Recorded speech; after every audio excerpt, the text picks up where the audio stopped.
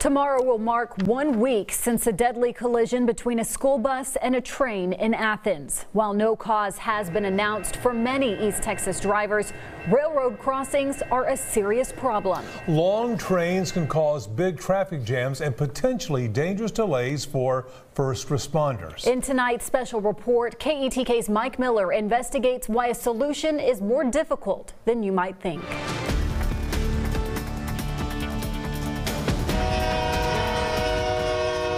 Trains are no stranger to the city of Troup. It wasn't uh, a city until the railroad came in here. About 15 to 30 trains pass through Troup every day. Most of the, the railroad traffic that comes through Troup comes out of the Houston port area. Because of that, the trains are long with dozens of cars and a lot of cargo. As you come into town, you frequently will find the cross arms down on the main street and you'll wait uh, three or four or five minutes for a train to come through at approximately 25 to 35 miles an hour. For many, it's loud and an inconvenience. Even worse, if it's a stop train on these tracks right here, traffic can back up for miles on this main road. And it doesn't matter which railroad crossing you're stopped at. Long trains means long delays. Sometimes the trains can be stopped 10 minutes, 30 minutes, even 45 minutes, blocking pretty much all traffic in the city of Troup. It'd be nice to have a, an overpass here, a bridge to go under, you know. People trying to get to work, just doing our day to day. Trains happen, but um, you know, around here it's uh, it's pretty frequent. Whether it's a mechanical problem or a shift change, Troup seems to be the area where the locomotives stop the most. Talking with citizens, and is it? Do they talk to you about this? Is this something that they complain about?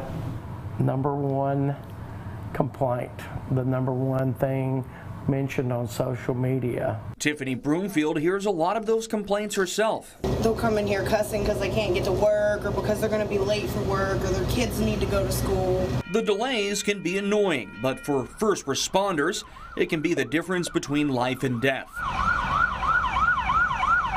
I've mostly thought about that for myself, you know, trying to get around tracks and, and what I would need to do in an emergency, but uh, yeah, they could be stuck or, or maybe have to reroute. Police, fire, and EMS all say it's a problem they have to work around. Our local law enforcement and city management has direct phone numbers to the dispatch centers and to uh, supervisors and, and area managers so that we can get a hold of somebody pretty much 24 hours a day and request that they begin the process of separating the trains so we can open these intersections. Troup also has mutual aid agreements with nearby fire departments in case they can't get to an emergency in time. So why are these problems allowed to continue? To find the answer, KETK News has been looking into this issue for several months, ever since we recorded some of this video. We found that there is a state law that says a railway company commits an offense if a train of that company obstructs a street, railroad crossing, or public highway for more than 10 minutes. This law is punishable by a fine of up to $300. Sounds simple, right?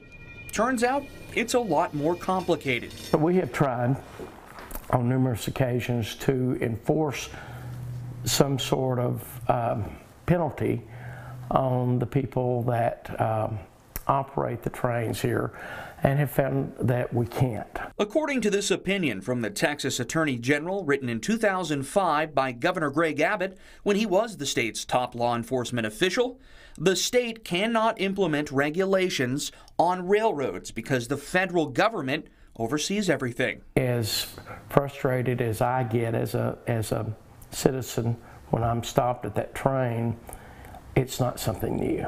The mayor says the city has had dozens of meetings with the railroad to work on these problems. He says communication has gotten better, but there is always room for improvement. Nobody has patience. I don't even have patience for the train, not when it sits there for so long. Unfortunately, the railroad was here first, so drivers will have to keep waiting, and first responders will have to keep hoping their backup plans work if there's an emergency. In Troup, Mike Miller, KETK News. And railroad officials tell KETK News that they can do everything they can to work with local governments to make sure stop trains don't cause problems for drivers or first responders. The railroad also reminds us the importance of trains as they carry goods, also create jobs, and are a major part of our economy.